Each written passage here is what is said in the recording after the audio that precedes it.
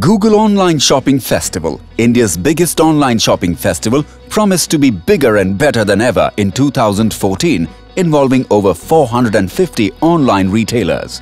This has become one of the most sought-after online sales event which people eagerly look forward to each year.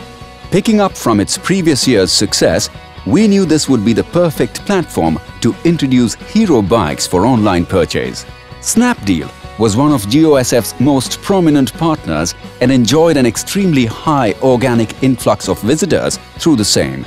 As a game plan, we set up a virtual showroom on Snapdeal and leveraged this flood of online traffic with a high buying intent. We further optimized our presence on Snapdeal to drive higher engagement and visibility.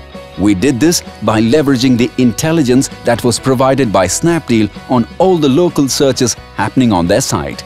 For instance, we specifically worked on targeting audiences looking to buy high-ticket items or searches that were generated from locations that were very close to the hero dealerships. To complement this activity and drive relevant consumers, especially those who were not being reached through the GOSF campaign, we ran a paid search campaign targeting users based on specific keywords reflecting high buying intent to catch them in the moment of truth. We further incentivized the user by offering a limited period free insurance on online purchase which ensured that the deal gets closed. The campaign was a roaring success with an unbelievable 700 bikes sold online in just three days.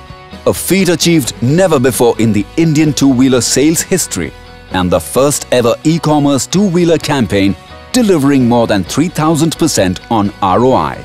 Hence, we were able to successfully counter the decline in sales during the lean period.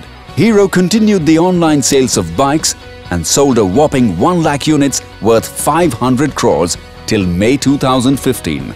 And as they say, this was just the beginning of a new sales era for Hero MotoCorp and the Indian two-wheeler industry.